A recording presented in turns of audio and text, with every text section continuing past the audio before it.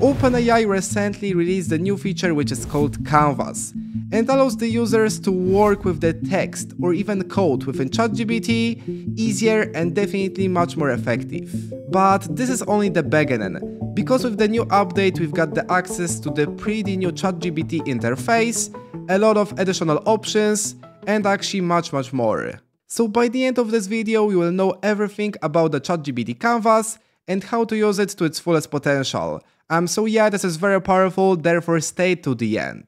So OpenAI is introducing Canvas, and this is the new way of working with ChatGPT to write and code. So actually let me now show you the most important information that actually OpenAI has to say. First things first, this is the pretty new interface. So at the left side you can notice we've got something which is a kind of the sidebar and in the middle slash right side um, we've got actually the space where our content will appear. So here we'll have a kind of the summarization of what we created, some basic information, and here we'll actually go over and work with our text. And OpenAI says that the Canvas is a new interface for working with ChatGPT on writing coding that go beyond simple chat. So we've got the different options. So Canvas opens a separate window allowing you and ChatGPT to collaborate on a project. So actually we'll be able to edit some text, so actually we didn't have this option before. I will be able to refine the text, actually improve it, only change the specific parts and so on. So again, in this video, I will show you everything step by step. With Canvas, ChatGPT can better understand the context of what you are trying to accomplish. You can highlight specific sections to indicate exactly what you want ChatGPT to focus on. Like copy editor or code reviewer, it can give inline feedback and suggestions with the entire project in mind. So yeah, as I said, we've got a pretty bunch of new options. So for instance, you can directly edit text or code. There is a menu of shortcuts for you to ask ChatGPT to adjust writing length, debug your code, and quickly perform other useful actions. Um, here also we've got some shortcuts, so ChatGPT can suggest edits. It offers inline suggestions and feedback, adjust the length, change the reading level, which is amazing, add the final polish, so check grammar, clarity and consistency, or even add emojis as we want.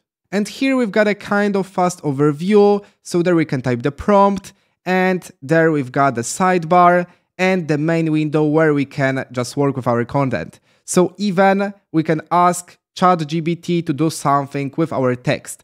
For this case, we've got a code, it is refining our code, improving it, and doing everything we want. Also, you can see we can type within our response, which is amazing. And lastly, there we've got some options to choose in order to provide better results. So with all that being said, let's actually start with. And let me show you everything from start to finish. So firstly, how to trigger the ChatGPT with the canvas. So we need to go over to the left top corner and click on the models and there we have a kind of the new model, which is ChatGPT 4o with Canvas. We can click on that and right there we can use it right away. So we can type the following prompt. For example, um, let's start with the text. Provide for me an article about 10 the most popular pets. So we can run this prompt and see what will happen. So it opens for us this window and we've got this sidebar where we have the actual conversation. However, here we've got again our main content. So yeah, this is much more different than usual. And in the right bottom corner, we've got this icon with five different options. So firstly, what we can do? We can ask ChatGPT to suggest for us the edits. So it will actually think about its own response and tell us the space where we can adjust the edits again. So here you can see. You might want to mention a specific bird species and unique trait they have. Adding an example of a popular rabbit breed could help readers picture the variety available and better understand their characteristics. And here even we've got the highlighted text. So the text exactly that is linked to the improvement that we can apply. And here we can go over ahead even and apply the changes. So now look at that. Um, it will take this text and provide another pretty new with just improved version, which is extremely amazing. Another option is to adjust the length of the text. So we've got this kind of the slider, so we can decide if you would like to have the longest text and barely longer, or even we would like to keep current length. For this case, I would like to have um, just barely shorter text. I can click on that and just trigger ChatGPT to do the action. So there, just pay attention. Um, it is very fast. I really like this one transition and meanwhile creating our content. So yeah, this is very definitely unpleasant to watch. Another one case is to adjust the reading level, which is very helpful. Because, yeah, sometimes you would like to, for example, adjust the reading level for people that are not a native in English, for example. It can be very helpful in that case because here we've got a kindergarten, a middle school, or even graduate school, um, so we can decide by ourselves. The next option is to add final polish. So when we click on that, ChatGPT um, will like refine this exact text. So yeah, just look at that. We've got even the heading of the text, which is very helpful. Um, we have everything polished to the perfection. And the last one option is to add the emojis. So even we've got this kind of option, which can be helpful, yeah, because sometimes you would like to add the emojis which are relevant to the specific parts of the text. In the right top corner, we've got some useful options. So the first one is to actually undo the action, so show the previous version of our text. So we can, for instance, click there and restore this version as we wish. For example, I would like to go over with this one. Yeah, restore it. And here even I can copy my content. Sometimes when you will point on the content, you can see this icon. So here we can choose the specific paragraph. And right there, we've got this window. So you can, for example, edit or even explain this part. So I can type something like, um, I would like to make it barely longer. So definitely we can just change this paragraph as we wish. So overall now it's making it uh, barely longer. Yeah, we've got it.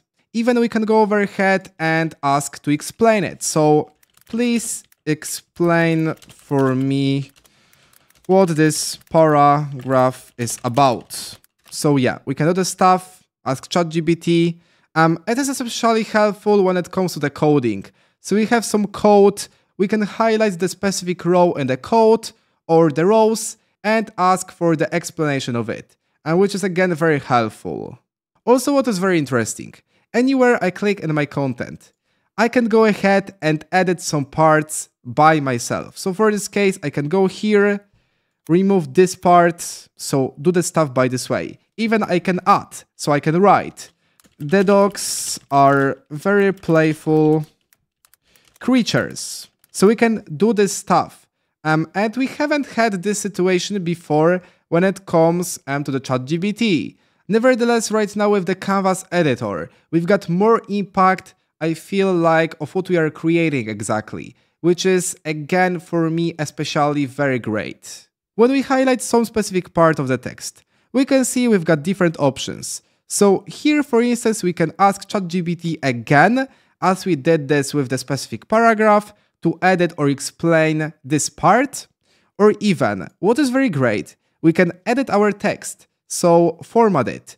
I can bold it, I can italicize it, or even change it. Um, let me show you on this part. So yeah, I can change it to the heading, or even I can do other stuff. So provide it as the body, so here we've got this opportunity, which is very great because we don't need to go over to any outside applications to just format our text.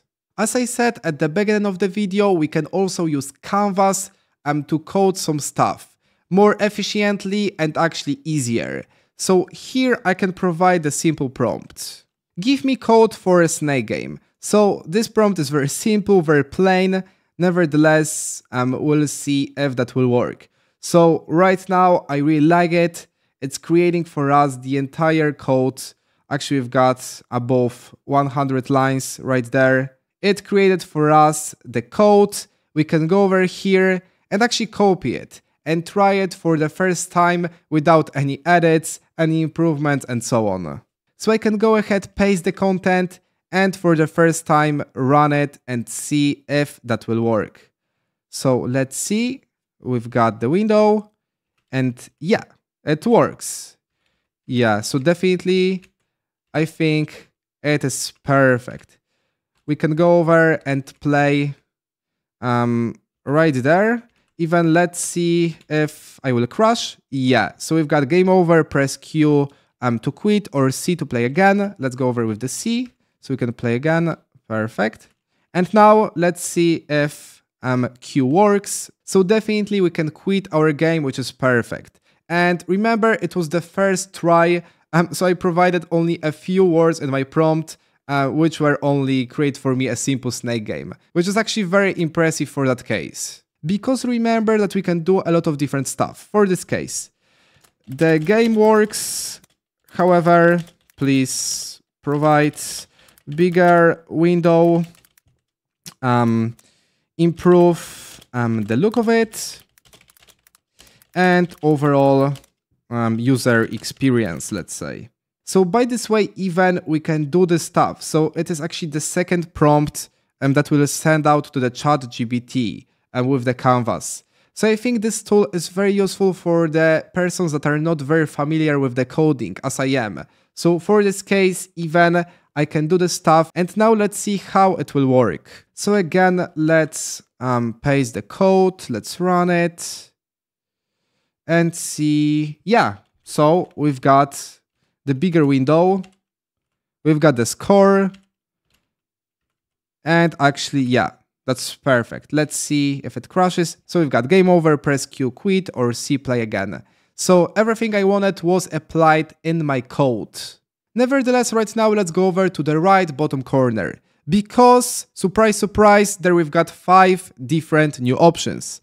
So let's go over with the first one, which is code review. When we click on that, ChatGPT will automatically review our code. So actually it works pretty similar as with the text. It highlighted for us the parts that could be improved. For instance, there consider extracting the foot positioning logic into a separate function to avoid code duplication and improve readability. So even we can apply the change, so it is again pretty the same as we had with the text. However, now for the code, which is very nice. It should change this part. Yeah, so we've got it. The next option is to port to a language. So we can change the language of the text. Because actually this is written in the Python, so we can go over ahead and for example change this to the C++ or even Java as we wish. So we can go ahead here, click on port the language, and there we've got different languages to which we can go ahead and change this code. Another case is fix bugs. So whenever we have any problem with our text, we can go over ahead here and click on this option and it will actually solve for us the problem. Then we've got add logs. So it adds a lot of print lines throughout our code and to actually help us to track any changes. So it records all activities like deletions and what was added, actually what was changed and so on. So with this, you can review better um, actually your entire code. And the last one option is to add comments. So it is very helpful. It will apply for us the comments in this code to help us better understand it and actually refine what was done step by step. So by this way, we can do this stuff very easily. So again, even when it comes to the smaller parts, we've got um, the comments so exactly what it does. So that we have it. This was everything for this video. I think Canvas with the ChatGPT is an amazing feature added by the OpenAI. It helps a lot with the text, with the code, and a lot of different things that we do inside of the ChatGPT. So I hope that you liked it, it was helpful for you, and I will see you next time.